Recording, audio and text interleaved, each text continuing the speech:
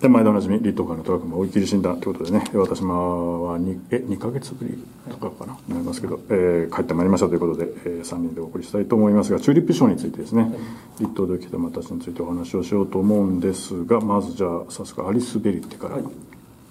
きます、はい、えー、アリス・ベリってそうですね単走で、まあ、荒れた時間帯ではあったんですけど、うん、まあ、ラスト自立っぽくはなりましたけどそれでも行きっぷりは良かったですし、うん、回転力あるフットワークで、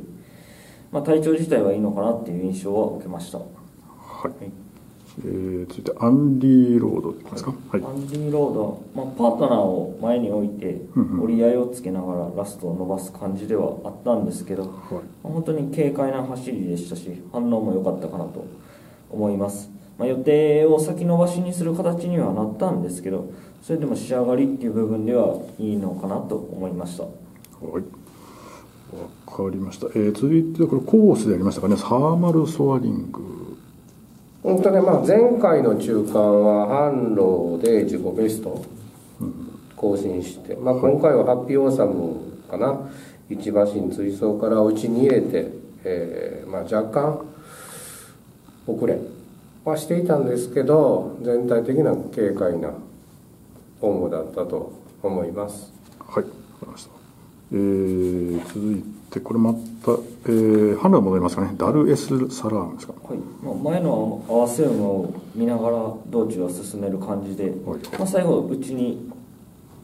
入れて、うん、まあ、反応を確かめるような感じではあったんですけど、まあ、本当にメリハリを効かせた走りでしたし、まあ、すがるさもあって、まあ、状態は良さそうでしたね。はい、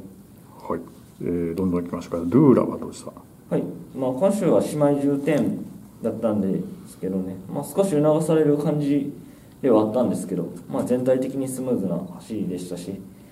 まあ、先を見据えた仕上げの中でも、まあ、現状では力を出せるんじゃないかなと思いますし、まあ、久々でも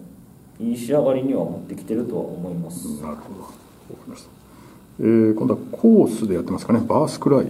そう C ユートで半マイルポッキリのメニューだったのかな。今回、まあ、若干ね重心が高くて、うん、ちょっと気負う面はあったんですけど、手綱をスッと緩めてからの伸びはねなんか吹っ切れた感、うん、抑え込まれた感のその解放された感っていうかな、うん、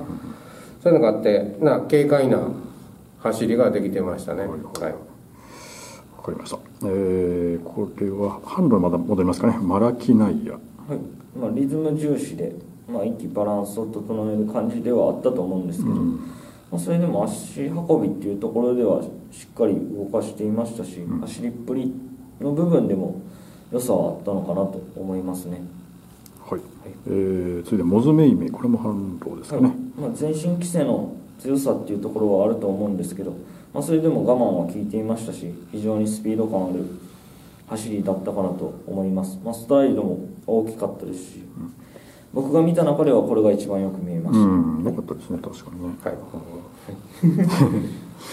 さてあとコース組じゃあ2頭いきましょうかね。ルカンをまずルカンは並走多いかな。どんなセレーノ、はい。まあ、1秒追走して内に合わせて、まあ、僅差の先着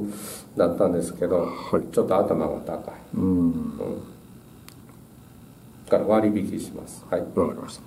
あともう一頭じゃあ我は海の恋お願いしますサウンドプリズムの外、はい、えー、1秒ちょっと先行してたのかなでリバーシンの先着、はいまあ、先行の恩恵もあるけど、まあ、活気があっていい動きはしてましたね、うん、未勝利勝って小倉帰り、ねちょっと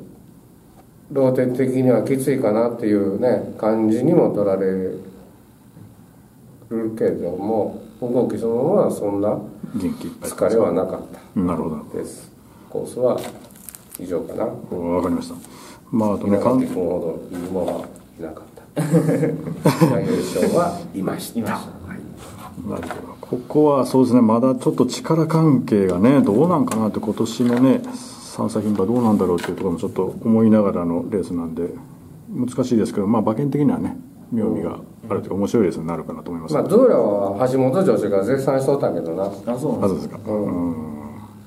戸崎乗ってよかったやろって言っとった。そういうとこな。なるほど。じゃあ前回よりはあのいいパフォーマンスができるかなってそんな感じですかね。わ、かりました。じゃあまあぜひ参考していただいてバーキンを買われてはどうでしょうかということで今回じゃあ締めさせていただきます。ありがとうございました。ありがとうございました